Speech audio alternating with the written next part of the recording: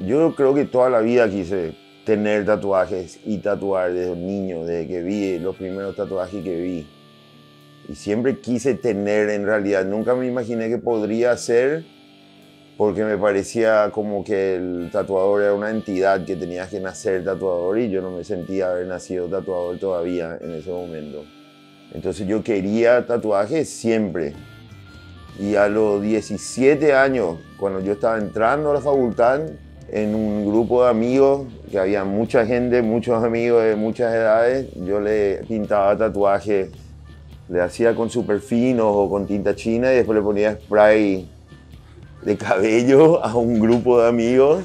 Todos se querían salir tatuados los fines de semana. Y yo tenía 17 años y atendía el negocio de un amigo que era al lado del negocio de ellos. Y las hacía. Y esa fue la primera vez que yo pensé que tal vez yo podría tatuar porque dibujaba bien, siempre dibujé. Y eso fue en el 89.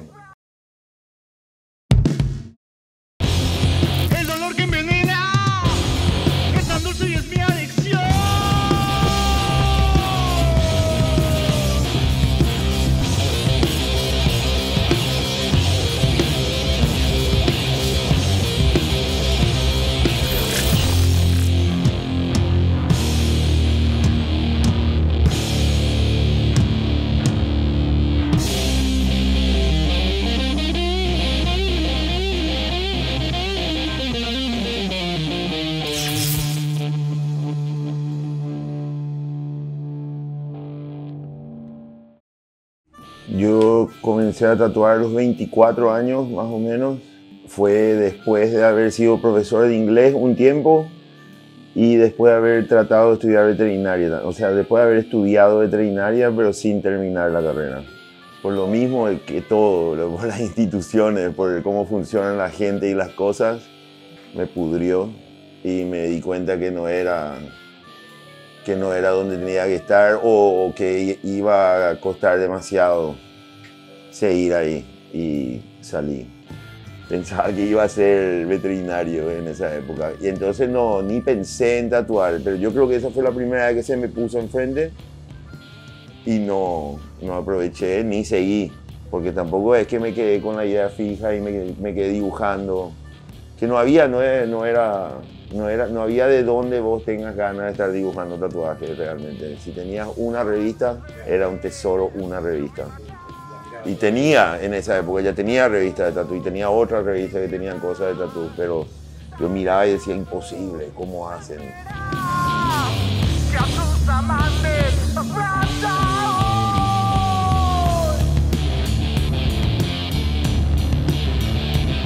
Le conocí a un alemán que se llama Rino Kassman, que vino a Paraguay en los 80. Yo le conocí a él y fue mi, mi primer contacto cercano. Vi máquinas, vi todo y yo dije, ah, como que es posible, si este loco hace. Pero igual él era como un biker alemán y yo era un niño, entonces tampoco yo me imaginaba que podría. Rino ya era medio que mi amigo, porque no tenía nunca yo dinero para tatuarme, pero hablaba inglés, entonces el, loco era buena onda y hablábamos en moto, de cualquier cosa. Yo le llevaba de repente gente que quería tatuarse y le decía, no, con el alemán, con Rino. Y él estaba medio que solo en Paraguay y justo también mi, mi ex señora estaba embarazada de Marcia. Y todo eso, pero una situación de buena onda, medio familiaroide. Durante ese tiempo yo le acompañé a un amigo a tatuarse de otro lado con un chico de limpio pero que tatuaba cerca del Munimark y vi una máquina casera. Sí, y ahí, y ahí mismo salí, me fui a casa Ore y compré un, motor de cassette y fabriqué una máquina el mismo día. Porque ahí sí yo le vi a ese tipo haciendo y yo dije, yo puedo que dije sí, que hago, que no estoy tatuando, claro. Ahí yo vi todo, el loco sacó una caja de herramientas, estábamos al lado de una pelo pincho en un patio, ¿entendés? Y me derrubó todo lo que yo veía como el estudio y todo eso, que era lo complicado de tener para poder ser tatuador. Y ahí yo vi, yo dije, si este loco está... Y yo ahí había los hippies que tatuaban también, estilo hippie, siempre hubo. En la plaza siempre hubo un loco tatuando y después estaban los perros que se iban a Brasil y tenían sus cosas, pero todo era súper secreto, nadie te dejaba ir a hacer groupie tampoco. Y el Rino no te dejaba ver nada igual. Yo estaba ahí con Rino, buena onda, pero jamás él me decía, mira, esta es la máquina, así funciona. Ni cagando. Ni te dejaba mirar con armaba. Habré tenido 23 años, 24 ya casi cuando comencé. Yo declaro que arranqué cuando arranqué, en serio, no. Hay gente que dice, no, yo tatué, yo para mí hiciste el primer tatuaje, un punto con una aguja, ahí arrancaste. Y yo, ahí ese día fue el que yo dije, nada, yo ya tatuar. Y me fui, fabriqué la máquina, tinta Rotring y chao. ¿Te hiciste vos mismo? Me hice, yo tengo todavía una rata fumando un porro de mucho después. Yo no llegó tanto. Fue enseguida porque la máquina se iba y tenía que hacer, entonces, pero sin noción. Pero quedó. El día que yo hice había amigos presentes y ya todo, yo, ahora yo, ahora yo, y todo el mundo con la misma aguja, con un trapo. Desastroso. Walter es uno de los tatuadores más viejos que hay actualmente. Él le marcó el camino a una generación de personas, fue el que se animó a hacer una, una convención de tatuajes o un tattoo meeting y que generó un movimiento gigante dentro del tatuaje nacional.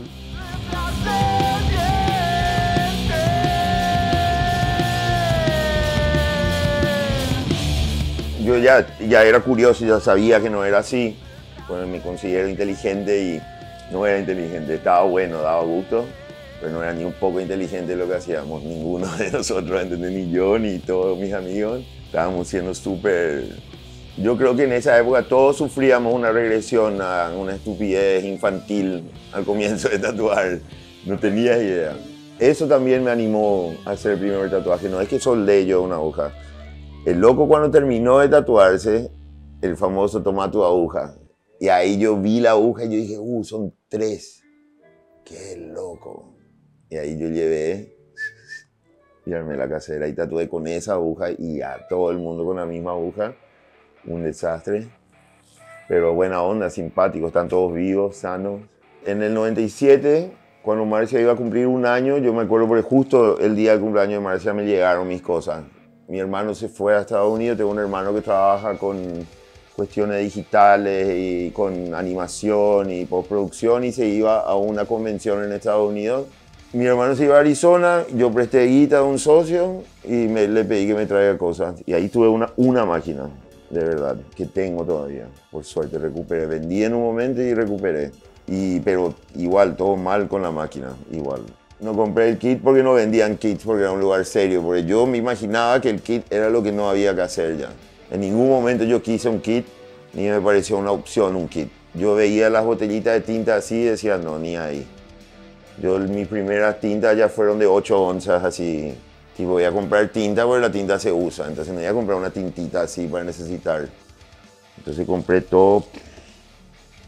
Eso hice bien por lo menos, pero compré re pocas punteras, compré poquísimas agujas y compré pocas agujas sueltas. No me imaginaba, entonces no sabía la proporción como es con una sola máquina, una mierda fue todo. Y después yo me fui a Sao Paulo, yo pensé, bueno, me tengo que ir a donde haya tatuajes para ver cuál es, porque acá existía Teja y Sol, había gente que ya tatuaba, Esteban el chileno ya tatuaba y ya tatuaba bien, y después otros amigos que tenía que tatuaban bien también, pero estaban en la misma que yo, tatuaban bien de, de ganas que tenían nomás pero estábamos todos en la misma, nadie entendía nada en realidad. Y ahí yo me fui a Sao Paulo en, el, en enero del 98, justo post una convención brutal. Yo llegué tipo en el, justo después del mejor momento. Porque fue una mierda, pero estuvo bien, porque había un montón de cosas, había material gringo, pude comprar una máquina Mickey Sharps, un montón de cosas, bien estuvo. Y ya volví con tres máquinas o con cuatro máquinas de Sao Paulo, ya entendiendo que necesitaba muchas máquinas. Le conocí a unos locos, me enseñaron a soldar agujas, todos bikers también, o sea que todos eran más o menos, estaban bien, pero no le, no le llegué a conocer a ningún así tipo artista, de verdad, alguien. Y después le conocí a Marcio Duarte en un viaje a Sao Paulo, que fue el primer que yo considero un tatuador que es realmente un artista, una bestia y fue ponerle que en el 99. Yo me comencé ahí todo el tiempo a comprar material y ahí yo volví ya a tatuar automáticamente mucho mejor.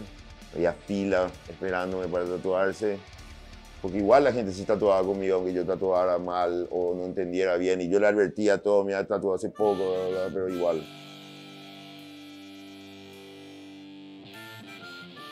Walter es lo más grande que tiene el tatuaje en Paraguay. Sinceramente, una persona que siempre admiré antes de ser tatuador y ahora más que nada porque la manera que hace el japonés es increíble. El tradicional, el estilo que le pidan, él te hace y de la mejor manera. Eso es lo que yo admiro realmente de Walter.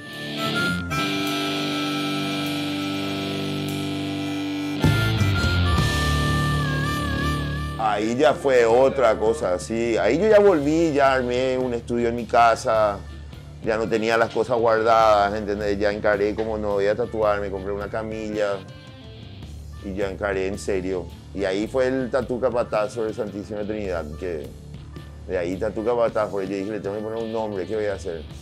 Y escribí que un socio mío había inventado ese tatu capataz y era simpaticísimo en el momento. Entonces, con una lata, escribí ahí un dragón y decía Tatu Capataz en la pared. Era un estudio privado, digamos, no había una puerta abierta. Venía a tatuarte y si venía con 100 personas, yo te dejaba entrar con las 100. Mi dormitorio era otro lado, ¿entendés? Tenía un patio gigante, simpático, ¿verdad? Y siempre es lo mismo. Yo hasta ahora estoy como de fiesta mientras tatúo, siempre. En la misma estoy.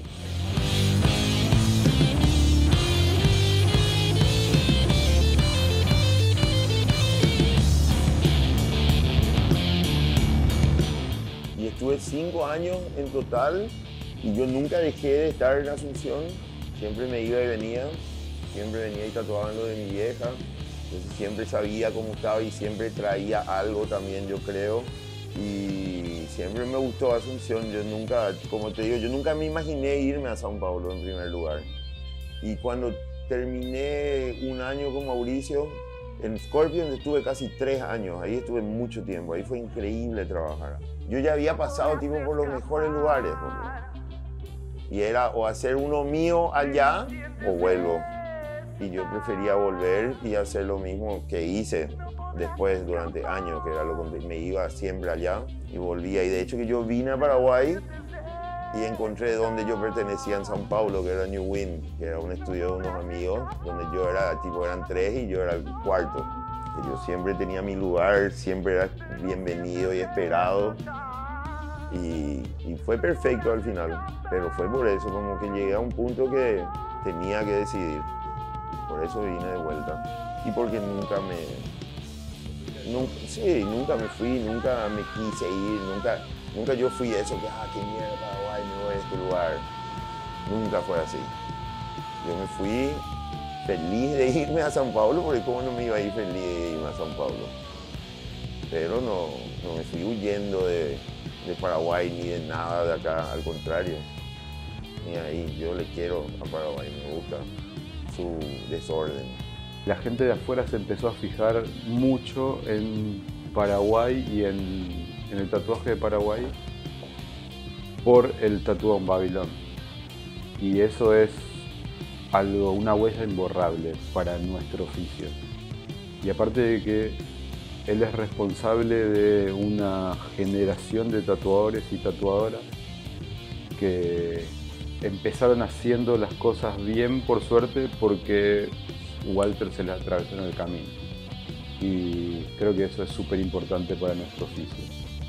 Eh, una persona que lleva veintipico de años tatuando y nunca dejó de ser un, un ícono para nuestro tatuaje, para el tatuaje nacional. Creo que es una de las personas que más, más se merece respeto por el camino que, le abrió a muchos, siendo, siendo uno de los más viejos en el oficio. Eso, eso creo que es innegable.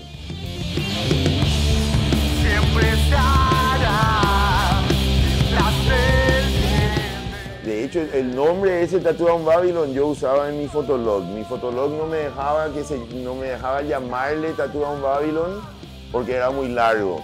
Si no, mi fotolog iba a ser tatuado en Babylon. Mi fotolog era tatu capataz, punto fotolog, no sé qué, y decía, vos abrías y decía arriba tatu down Babylon. Porque era como una idea mía que yo tenía que trabajar contra la Babilonia en el tatuaje. Que creo que así chiqui traté y habré hecho por la Babilonia aplastante y a la gente le encanta la Babilonia. Entonces no, no es que Llegaste a 10 años, ¿no? 10 ediciones. 10 ediciones. La primera, yo soy, tengo la bendición de los amigos que tuve, porque no es, yo realmente le conocí a Mauricio no por el ícono que era, sino porque alguien me dijo, vos le tenés que conocer a Mauricio. Después le conocí a Mauricio y el día que me fui a conocerle, justo estaba William Yoneyama yéndose a conocerle también. ¿Entendés? Y todo así increíble. Y William es como mi hermano también, que es otro bestia del tatuaje. Y nada, y como yo tenía esa bendición de cruzarme con gente y de tener amigos, y realmente tener amigos, porque era como que nos veíamos y era como, eh, inexplicable. Que sigue pasando, mucho menos que en esa época, porque en esa época éramos menos. Ahora hay tantos que no podés tampoco eh, con todo el mundo. Y yo quería compartir, yo quería, yo, para mí Paraguay siempre fue brutal, yo siempre dije Paraguay era increíble, yo soy medio boludo, así místico, mágico, medio vago, y Paraguay me encanta que hay, los mitos no son mitos en Paraguay, son creencias, ¿entendés? Y todo eso, para mí siempre fue, es un lugar mágico por culpa de esas cosas, yo creo. Y yo siempre quería que la gente venga acá porque, ¿cómo le explicas a alguien por qué pega Paraguay? Le tenés que traer y le tienen que pasar cosas increíbles para que ellos digan, ah, le amo a Paraguay. Y le pasa a todo el mundo. Entonces yo, ese siempre fue mi idea, que venga Marcio principalmente, que fue el único que vino a la primera. Y en esa época yo le invité a Mauricio, a Iván, a solo Grosso yo le invité para la primera, porque pensé que se iban a copar de hacer una micro convención. Yo sabía que iba a ser un descontrol, que iba a estar bien, que íbamos a estar tranquilos, que podían venir a hacer lo que querían, de verdad. Yo quería hacer eso y no quería hacer una convención, porque las convenciones nunca me gustaron. Yo me iba a la convención a fumar porro en el estacionamiento con todos estos otros vagos. Normalmente, justamente, los más grosos son los más vagos. Así era por lo menos. Después vino la generación de los trabajadores duros. Un encuentro, una fiesta. El tatuaje es el centro pero la comida era importante, la música era súper importante y el público era lo más importante, los invitados a la fiesta, ¿entendés? Siempre esa fue mi idea. Yo siempre pensé en hacer una fiesta donde el público, si era posible, sea la mitad por lo menos tatuadores luego, porque para ellos era en realidad. Era para gente que le gusta el tatuaje, pero era mucho más para tatuadores.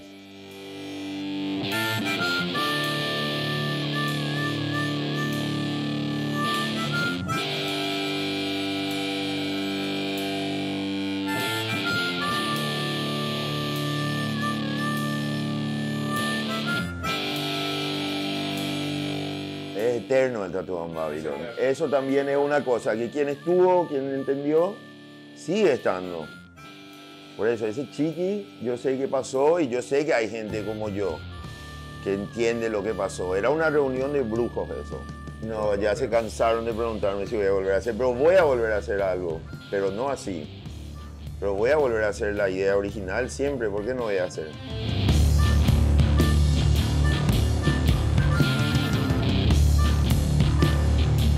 Yo no soy artista porque no hago arte, pero sí yo creo que soy un artista porque hago con arte lo que hago, pero no soy artista. Hay gente como Marcio Duarte que el tipo, el marco de su puerta en su casa está pintado, ¿entendés? Con algún divague. El loco no se contiene, todo el tiempo está produciendo. Ese es un artista, yo creo. Y hay tatuadores como los, como los bikers que calcan, tatúan, tatúan bien, eficiente, aprendieron y está bien también, es perfecto. Yo le, quiero a los dos, a todos por igual, pero yo le conocí, yo comencé a conocer artistas después de un momento, la producción del arte. Tatúo como si fuera arte, yo tatúo, hago un, hago un dibujo de línea y después pinto. Si alguien, si ves de afuera, es como arte, pero es un tatuaje. Yo, esa supuesta evolución, yo no creo, porque yo sigo tatuando con las mismas cosas que yo tatuaba en el 98. Entonces no acompaño y soy 100% contra. Me parece increíble que todos tengan todas sus cosas súper tecnológicas, pero no, no me, no me parece un cambio real, me parece un cambio ilusorio y temporal, de hecho, porque yo sigo haciendo como se hacía y se sigue quedando. Para mí, al final, la idea es que el tatuaje suceda, que se haga un tatuaje, es la idea. Por eso no me gusta el concepto ese de arte, porque la gente quiere una obra de arte y un tatuaje necesitas. Un tatuaje es lo que querés, un tatuaje es lo que necesitas. Tatuísticamente yo creo que siempre estoy mejorando. O sea, siempre voy a estar en mi mejor momento. Yo digo que hay estilos que son estilos, claramente. Y después hay cada tatuador hace como le da la gana. Y yo digo que hacer una carrera sobre un estilo es algo moderno y otra cosa ilusoria, lastimosamente. A mí me gusta la gente que trata de no tener identidad. De hecho, yo tengo un millón de amigos, casi todos los que vienen al Tattoo en Babylon, medio que tienen la misma, yo creo que noción de cómo se hace, de que hay una manera de hacer y hay que hacer lo mejor posible dentro de esa manera, no hay que contaminar con tu firma ni nada. Tipo, mi tatuaje podría ser suyo o del otro y no nos importa. Al contrario, está bueno otra vez. Que te metan en la bolsa correcta, por ejemplo. Está buenísimo. Y eso está bien, yo creo. Y ahí va lo que vos decís, el estilo. Pero es una, tipo, cuando no es. Tipo, yo hago un, un Walter tatuado, sí o sí ahí. Pero no tengo opción, no es que yo quiero hacer eso. Y cuando yo hago un tradi, yo conseguí alejarme del Walter un montón en mi tradi. Y por suerte, porque si no es una mierda el tradi, ¿entendés? No era un tradi, era un Walter medio tradicionaloide. ¿Entendés? Y en el japonés es lo mismo, yo creo que hay una manera en que yo hago que está bien, yo estoy conforme, no me... Pero tampoco yo quiero buscar una manera de hacer, si yo cambio en el próximo tatuaje, a mí me da igual, no... No me gusta la... Así como me preguntaste de la universidad por qué salí, no me gusta la obediencia, nunca me gustó, no me gustan las instituciones, nunca me gustaron. Y hacer instituciones dentro otra vez de lo, la última cosa en ser institucionalizada y sentir orgullo,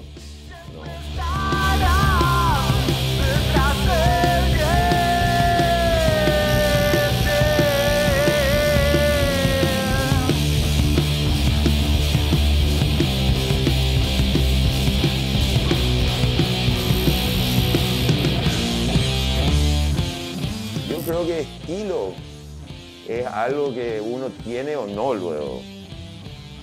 ¿Entendés? Y el que hace cosas con estilo, camina con estilo, tiene estilo. Si hace algo increíble, es increíble. Es lo que debería hacer. Pero alguien que se obliga a eso no me, no me jode tampoco que haga. Pero me parece un bajón que se estandarice eso también. Porque después se crea una imagen de que solo el que hace así es el que realmente hace. Y mentira. ¿Entendés? Mentira. Bro. Entonces, yo hago japonés desde que tatúo, trato de hacer japonés. ¿Entendés? Yo hago japonés hace, hace más tiempo que Rico, trato de hacer japonés. Solo que Rico se especializó, pero él se especializó, boludo, ¿entendés? No, no estaba jugando al japonés. Esa, esa, es fácil, las dos son fáciles. Sí o sí voy a tatuar hasta que, hasta que no pueda. Y el tatuaje es lo más viejo que hago, que se puede hacer, eso es. Lo más cercano a Dios que me toca.